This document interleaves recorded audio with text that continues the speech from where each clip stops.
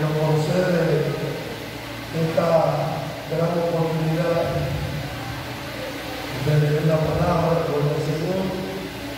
Y quiero saludar con mucho respeto a mi pastor y a mi pastora una manera especial. Gloria al nombre del Señor.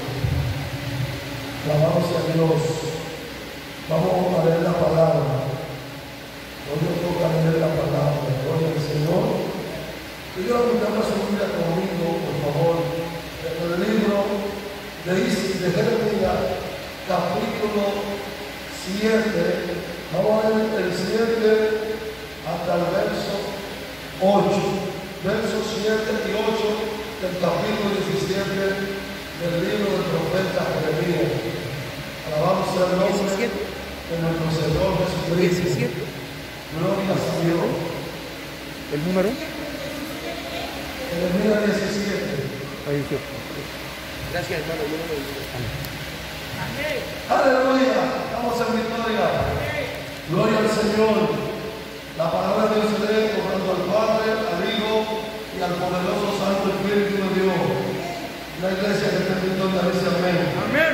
Aleluya. Y dice, bendito el varón que confía en Jehová, cuya confianza es Jehová, porque será como algo plantado junto a las aguas, que junto a la corriente le echará su raíz y no verá cuando viene el calor, sino que sus hojas estarán verdes en el año de sequía. No se fatigará ni dejará de dar fruto. Vamos a darle gracias al Eterno por su palabra. Levante su mano al cielo, iglesia del Señor. Estamos en victoria, estamos en gozo. Alabamos a Dios, Padre. Damos gracias por tu palabra, eterno Dios.